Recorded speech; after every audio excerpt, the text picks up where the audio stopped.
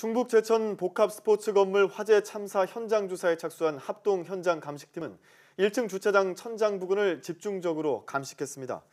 현장 감식팀은 1층에 세워둔 차량에서 불이 시작됐다는 신고가 있었지만 이 건물 1층 필로티 구조 천장에서 보수 공사 중이었다는 목격자들의 말이 잇따르자 발화 지점이 천장일 가능성이 크다고 보고 있습니다.